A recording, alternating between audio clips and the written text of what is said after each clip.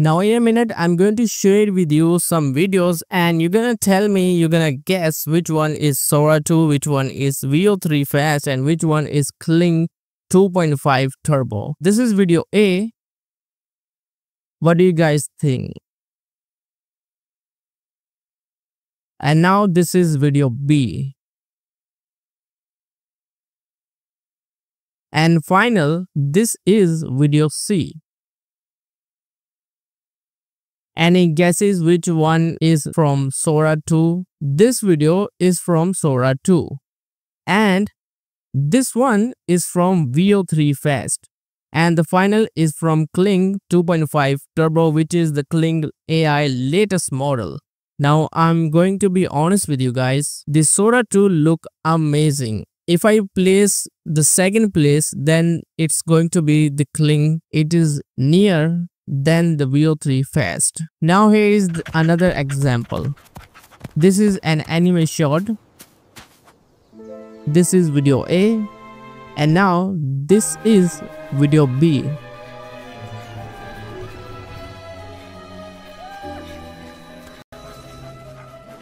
And the final this is video C.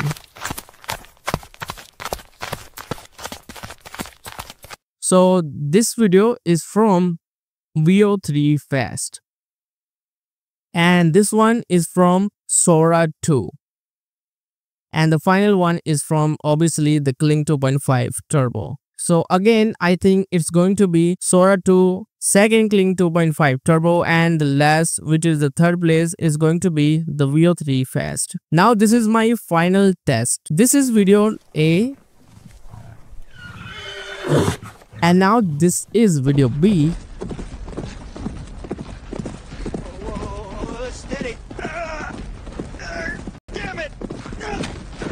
And at the last, as you can see, this is video C.